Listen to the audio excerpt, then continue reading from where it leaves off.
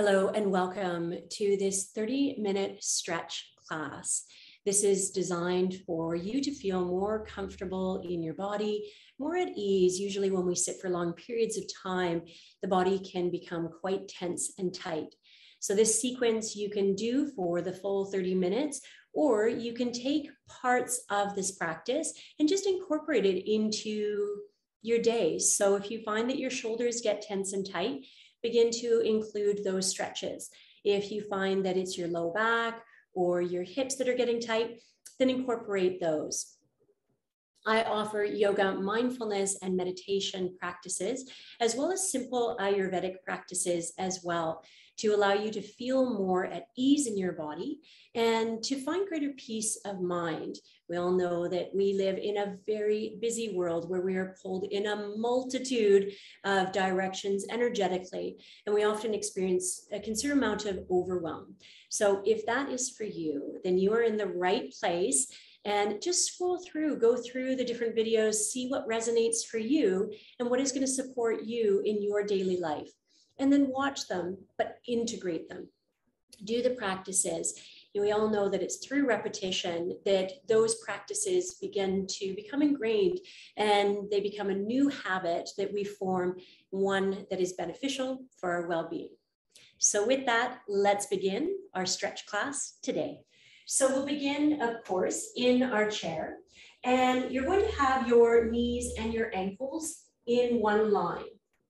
And then just lift up through the crown of your head. You can bring your shoulders up towards your ears. Take a deep inhale through your nose. And then just let your shoulders drop.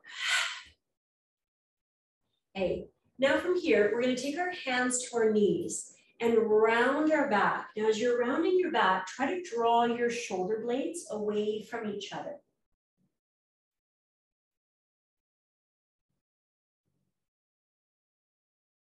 And then pull now your heart forward and through your arms.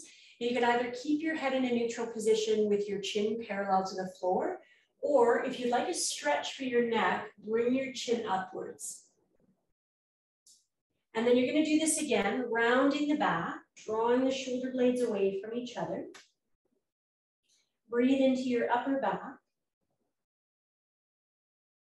And then start to again draw your heart forward and through. And bring your shoulder blades towards each other. And we'll do two more.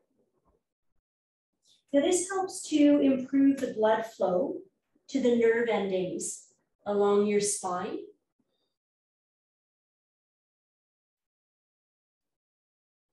And if you have any low back discomfort or pain, this is a wonderful movement and stretch to do.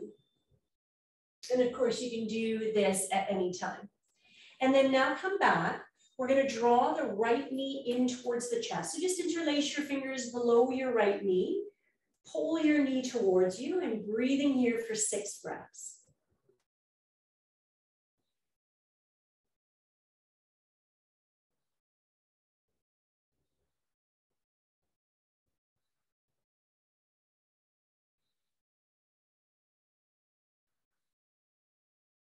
Two more.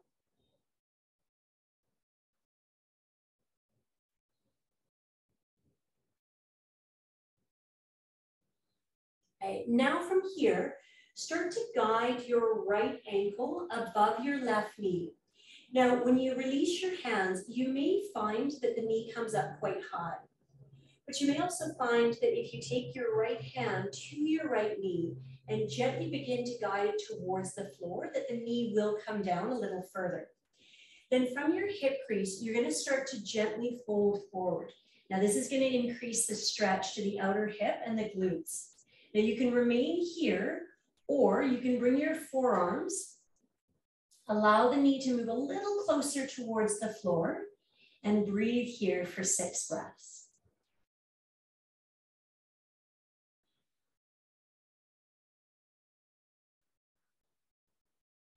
And usually the hips get quite tight from sitting for long periods of time. So this is a great stretch to do. Again, at any time that you have a moment or with the full sequence.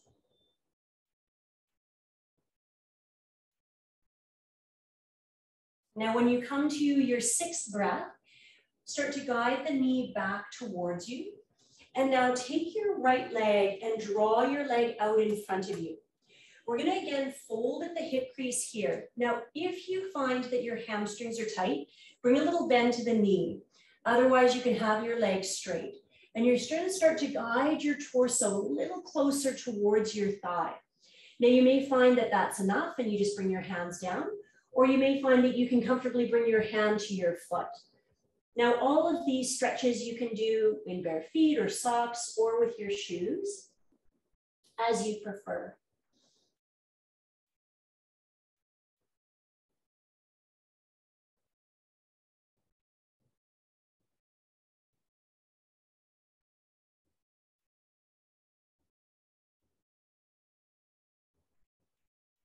And then slowly bring yourself back up.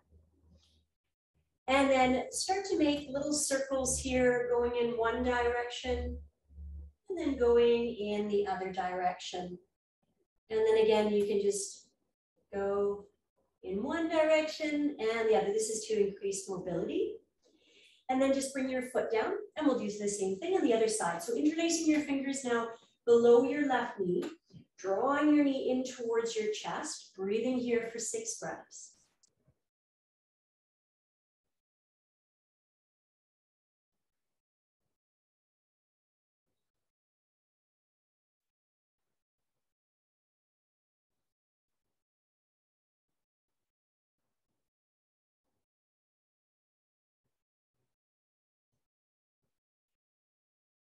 And then once you come to your sixth breath, let the knee fall slightly out to the left so that you can guide your left ankle above your right knee.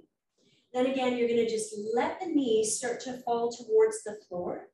And as you fold the hip crease, you're gonna find that that's gonna help to assist the knee coming down. Now your foot can be flexed or not.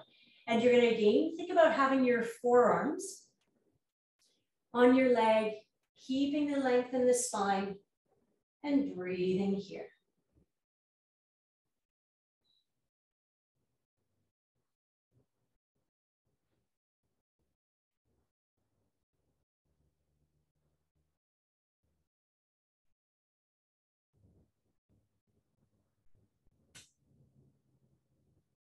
And then once more, once you come to your sixth breath, you're gonna slowly bring yourself back up. And then just release the leg. Guide your leg in front of you. And folding again at the hip crease, start to move towards your left thigh. And as your torso is moving towards the thigh, again, your knee can be bent or leg straight. And you can see about taking your hands to your foot and breathing here.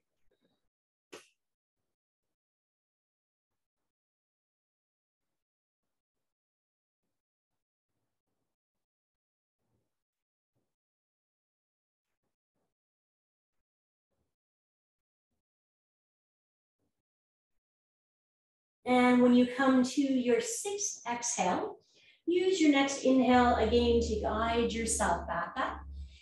And then just lifting the leg away from the floor and circling your ankle, going again in one direction and then the other.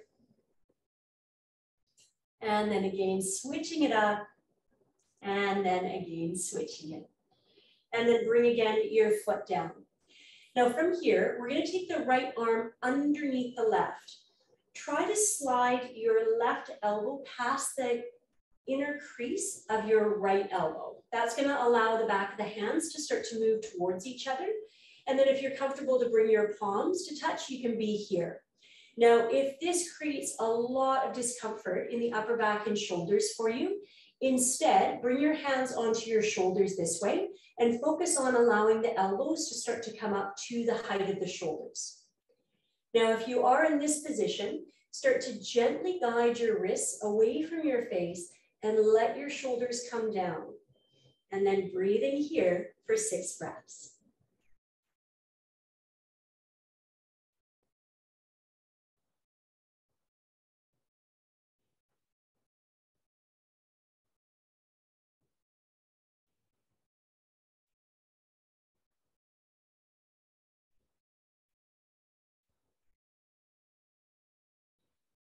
Good. Now release. Bring your arms up overhead.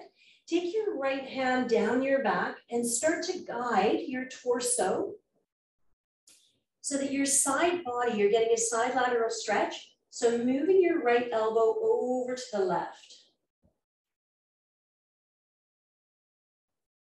Good. Keep breathing into it. Two more breaths. Good. Now you're going to guide yourself back up and take your left hand and see about bringing it to your low back. Now you may find that you can slide your hand by your side body and be here, or you may find that you can bring your fingers towards each other or to touch. And then you're going to be here for six breaths.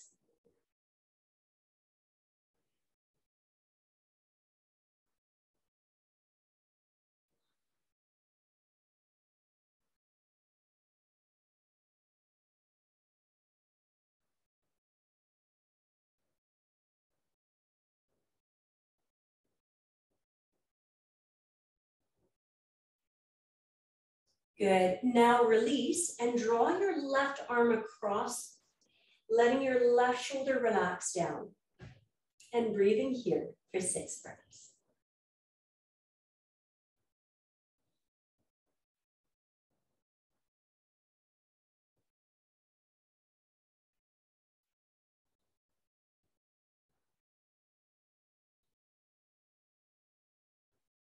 Good. Now release now it'll be the opposite.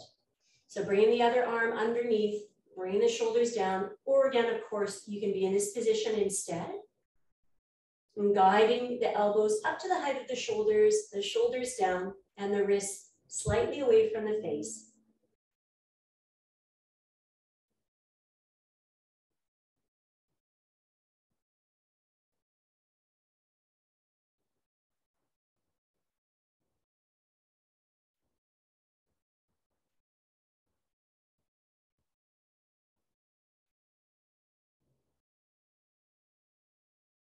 And when you come to your sixth breath, again, just bring your arms up. Left hand now is going to come down your back.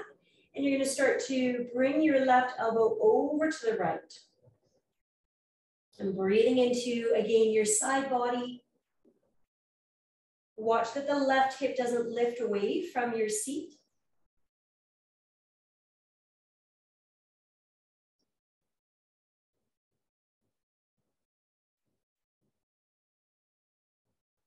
And now guide yourself back. Take your right hand, bring it either to your low back or again, slide it by your side body so that your right elbow is by your side body. And the reason for this is you're going to be able to draw your hands a little closer towards each other. Now, if you find that they don't touch or there's considerable amount of distance between, try to avoid grasping for your hands. Instead, just slide the hand up to the back to the place that feels comfortable for you, where you're getting the stretch into the shoulder, but there isn't a lot of rounding in the back. And breathing here for six breaths.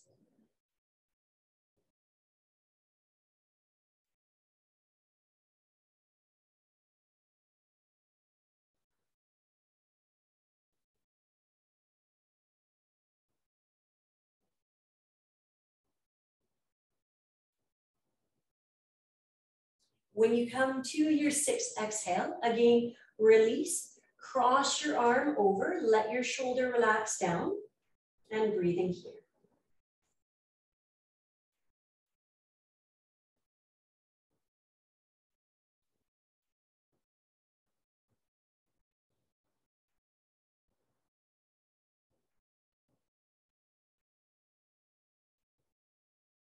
Good. Now release your hands down Take your left hand to the outside of your right knee and begin to rotate your torso. Now you can either be here in a gentle twist or you can take your hand behind your chair, bend your elbow and you'll find that this will intensify the twist and you'll feel a stretch into your low back. Good, now come back to center, same thing, either again here or taking your hand rotating your torso.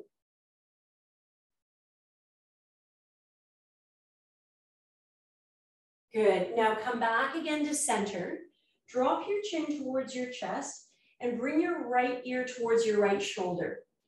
If you feel comfortable to take your hand to the side of your head, you're going to begin to guide your chin slightly upwards towards your ceiling. Let your left shoulder relax down and breathe here.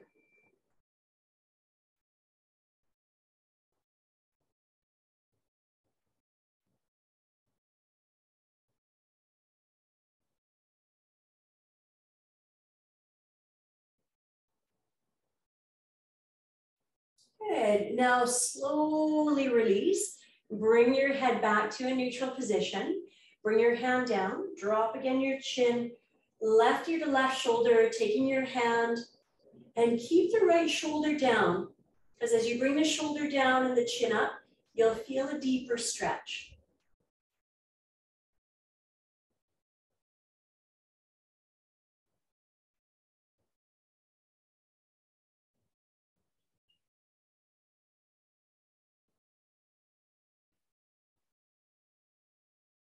Good. Now same again. Slowly bring your head back to a neutral position. Bring your gaze over your right shoulder, but without rotating your torso. So the tendency is going to be to want to rotate the torso as you bring your gaze. Try to keep your spine upright, your torso facing forward, and just turning your head.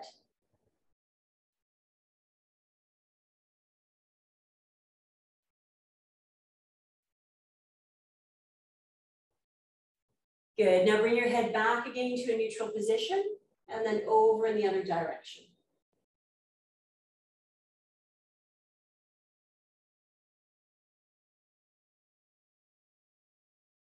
And now bring again your head back to center.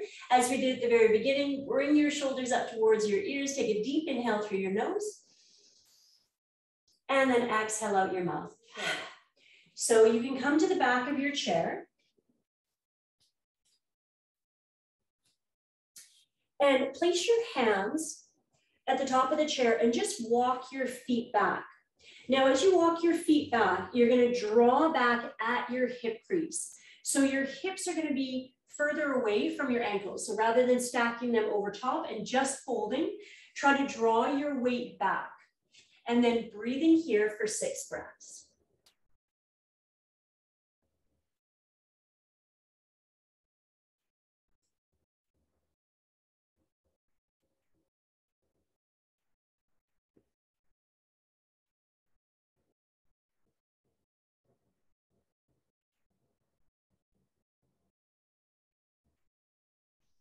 Good. Now start to walk towards the back of your chair and you're gonna come up onto your toes. Now, as you come up onto your toes, you can either hold here or you can come right back down. We're going to do eight of these. So if you hold, it'll be four. But if you are doing eight, then you're just gonna come up and down. So it's either gonna be again coming up, holding, and coming down, or just simply going up and coming right down.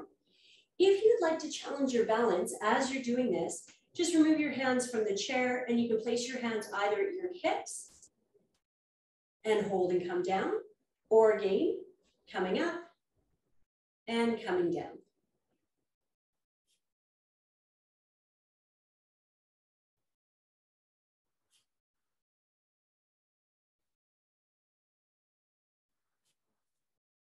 Now, once you come to either your fourth or your eighth, you're gonna take your hands again to your chair, walk your left foot back, and then just lift your right foot away from your floor. You can again begin to fold at the hip crease to increase the stretch for your calf.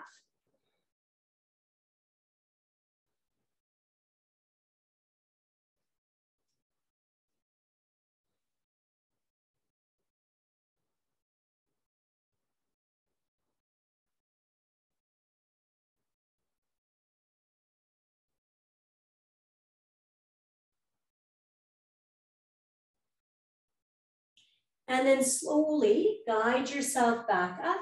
And then we'll just do the same thing on the other side. So taking the opposite foot, again, you're just lifting your foot away from the floor and then folding at the hips.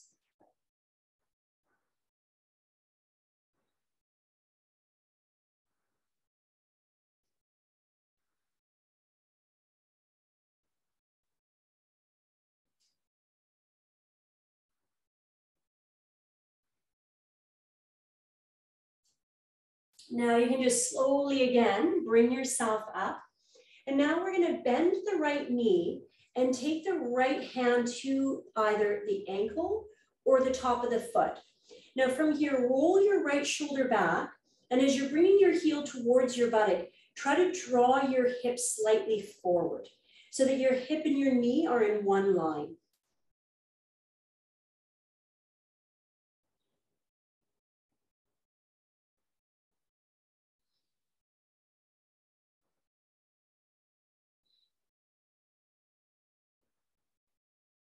Good. Now slowly release and we'll do the same thing on the other side. So taking your hand to your foot. Now, if you find that your hand doesn't comfortably come to your foot, you can just think about here, having your foot draw away from the floor, bringing your knee and again your hip into one line. And as you continue to bring your foot closer to, you'll feel the stretch for the quad. Otherwise, again, taking your hand to your foot and drawing your hips forward and breathing here.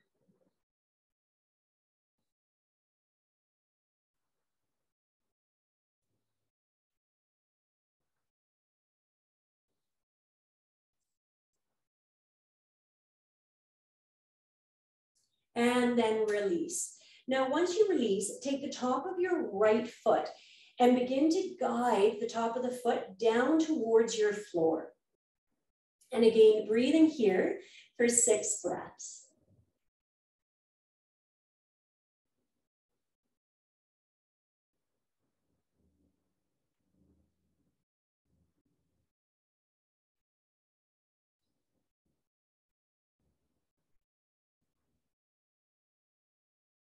And then the same thing, other side, taking the opposite guiding the top of the foot towards the floor. You'll have feel a nice stretch for the top of your foot.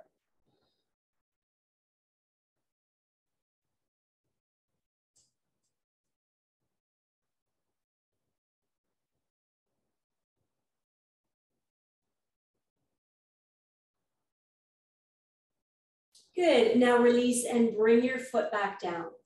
Now again, we're gonna walk our feet back. This time though, you are going to have your hips and your ankles in one line and begin to fold. Now, as you're folding, start to ever so gently guide your ankles away from each other. So this is without actually moving the feet, just pulling the ankles away. And then you can bring your forearms onto your chair. Now, if you feel you could go a little further, then you can start to bring more of your torso towards the chair. This is a nice way to release tension in the low back. So breathing here. You'll of course also feel this in your hamstrings.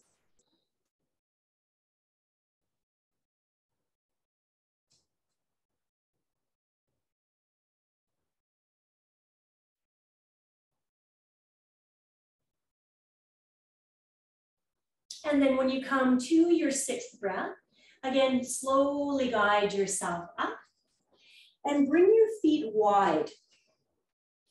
Now take your hands onto your hips and just make little circles here. And just as you did with your ankle rolls, you can go in one direction and then switch it up and go in the other direction.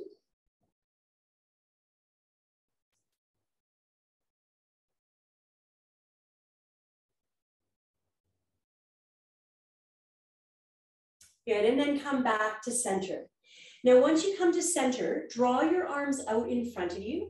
Take your thumbs, bring them in towards your palms, wrap your fingers around, and now you're gonna do wrist rolls. So going in one direction exactly as you did as well with your ankles, and then going in the other direction.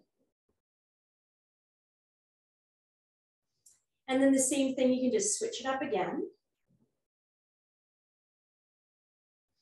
And then going again in the other direction. Good, and then just press your palms forward. You're gonna bring your arms out to the side, push through the heels of your hands and let your shoulders relax down. Now you're gonna breathe here for six breaths. So stay drawn up through the crown of your head. Keep again pushing out through the heels of the hands and let your shoulders relax down.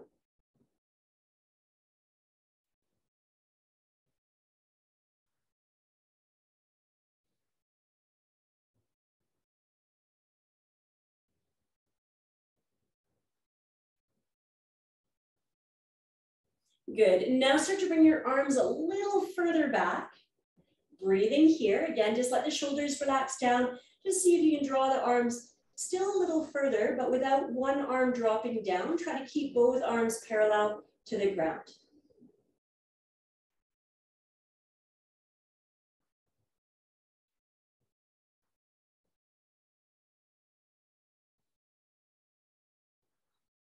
And now draw your arms down towards your low back, roll your shoulders, reach your wrist down, and start to draw your arms up away from your low back.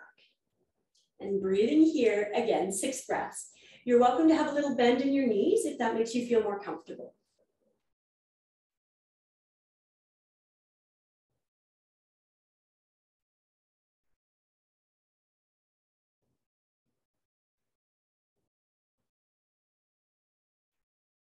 Good. Now slowly release your arms down. Bring your arms up. Interlace your fingers. Do bend your knees. Round your back. Press your palms forward. Then press into your feet. Lift your heart. Reach back. Draw your pelvis forward. And then come to a neutral position and bring your arms down. So I hope you have enjoyed this 30 minute sequence to allow your body to just loosen up a little bit, especially again, when we sit for long periods of time, the body can start to get tense and tight. So if you've enjoyed this practice, then be sure to hit the like button and of course, subscribe and use the bell notification so that you get the notifications of the new videos. Have a great day.